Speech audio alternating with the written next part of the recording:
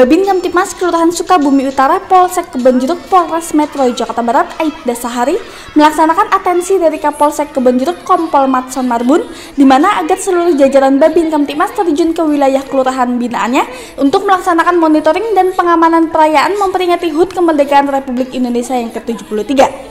Babin Kamtibas Kelurahan Sukabumi Utara melaksanakan pemantauan dan pengamanan warga RW 07 yang menyelenggarakan berbagai macam perlombaan dalam rangka memperingati HUT Republik Indonesia ke-73. Demikian dilaporkan oleh Babin Kamtibas Kelurahan Sukabumi Utara, Aibda Sahari, Salam Tribata.